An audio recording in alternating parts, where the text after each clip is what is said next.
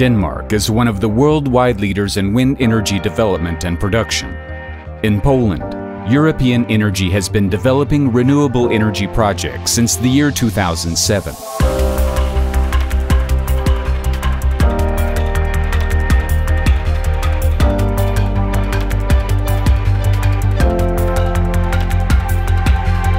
In November 2020, we have grid connected our first Polish wind park, Grzmiąca.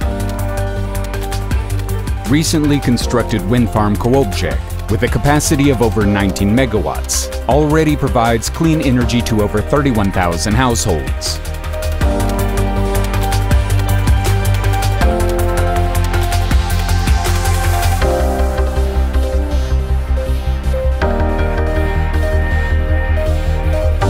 European Energy's Polish pipeline consists of over 4 gigawatts of wind and solar projects. That way, European Energy contributes to the growth of renewable energy capacity in Poland by 65% in the year 2024, compared to the installed capacity of the year 2020.